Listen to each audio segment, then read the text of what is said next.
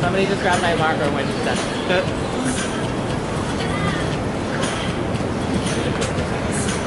to it.